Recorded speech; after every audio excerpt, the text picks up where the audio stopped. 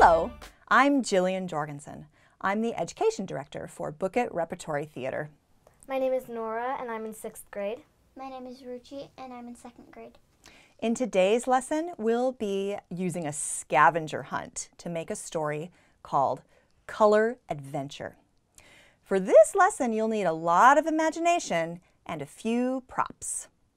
For this lesson, the props can be anything that you decide what it is, something from each color of the rainbow in your home. Just make sure it's yours or you get permission if it belongs to someone else, or it might make a big mess. You'll need a red object, an orange object, a yellow object, a green object, a blue object, An indigo object and a violet object, or a purple object.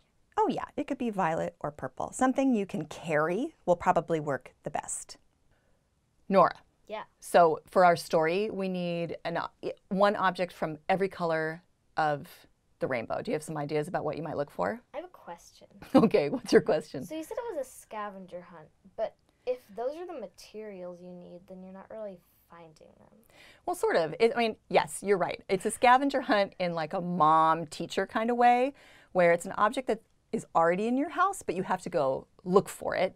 But you get to decide what it is on your way. Something red, orange, yellow, blue, green, indigo, and violet, or purple. So do you like think, oh, I know that I have a green hat, so I'll go find that. Yeah, yeah, that's a great way to look at it. What about you, Ruchi? What do you think you're going to find? I'm not sure. Oh yeah, sometimes you just got to start walking around, and then somebody, something like red or green or yellow, will just jump out and go, "Pick me! Pick me! Pick me!" All right, we're gonna go find our seven objects. All right, we went all around our house and found seven objects. Even that was a story, just like once upon a time we wandered around the house and found seven objects. The end. But it's not the end because, of course, there are more stories we can tell. We have a red necklace, an orange candle, a yellow little rubber chicken, a green shaky egg, Blue tape. indigo scrunchie, Crunchy. and purple octopus. With a hat. With a hat. And ice cream. Okay, great. And teeth. Okay, cool. Hey, Nora, um, which one of these objects is saying, pick me, pick me? Um, I like this candle. Okay, great. So now Nora could tell the real story of that candle. Nora, what's in one sentence? You'll be able to use a longer story later, but for an example, we're just doing one sentence. What's the one sentence true story of that candle? This is a candle I made at science camp when I was in second grade. Thank you. All right, but what if we tell the imaginary story of that candle? Ruchi, okay, here we go.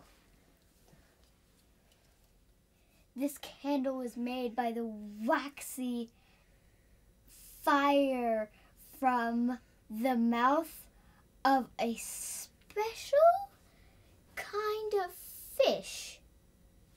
Oh, A, it's a literal flying fish. So, like, there are such things as flying fish, but it's a fire breathing, feathered, winged fish. oh my goodness. I love it. And it Nora, breathes fire, and this made that, and somehow Nora found it. Thank you, Ruchi. Nora, what's another imaginary thing that could be true about this candle? It could be made, it could be like made when the plague was actually happening. It could be Like it could be a real, Oh, like in the Middle yeah. Ages? Oh, so it could be like an artifact that maybe this is something that is real from very long time ago. Could Thank you, by Orange Candle. Okay, let's see. Let's see. Ruchi, will you pick one of these objects for the real story? What one is calling to you, saying, Pick me, pick me? Rubber chicken. Rubber chicken. Ruchi, do you know the real story of that rubber chicken? Mom likes rubber chicken, so she bought it. That is true. I like rubber chickens, and so I bought it.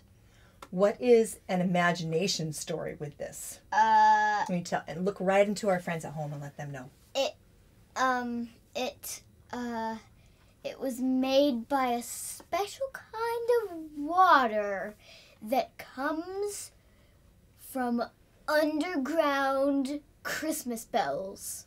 Oh, thank I, ju- I just put random things together. Nora, what's an imagination story for this yellow object? Maybe this was a real chicken that got.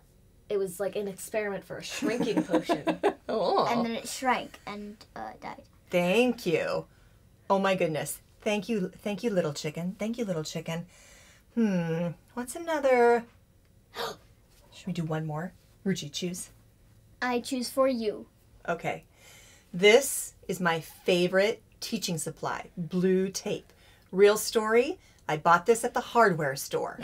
Nora, imagination story about the blue tape. um, it is the only possible tape that can be used to tie up the lethal dragon that lives in a cave. Dragon in a cave. Ruchi, the imagination story of the blue tape. Uh, it's not blue, but it's an illusion. it's actually pink, oh. but our eyes don't work that way, so we see it blue. And this writing Thank on you. it is not green. We see it's green, oh my but it's actually brown. Thank you. I can tell Ruchi has so much more to tell about this story. Woo. Thank you. I'm feeling this now, and it's very sticky, which is giving me the oh. story idea of a time we walked into a cave and our feet got stuck. Oh my goodness. Nora, what should we do next with these stories? Would you like to act it out, draw it, or write it? I think these stories would be good written down. Oh, a writing down story? Okay. Maybe a graphic novel. Ooh, a graphic novel. Thank you. Ruchi, what would you want to do? Would you want to act it out, write it down, or draw it? I would want to draw it using blue tape as a special effect. Oh, oh, like the blue tape is an actual material on Yes. the paper? Yeah. Cool.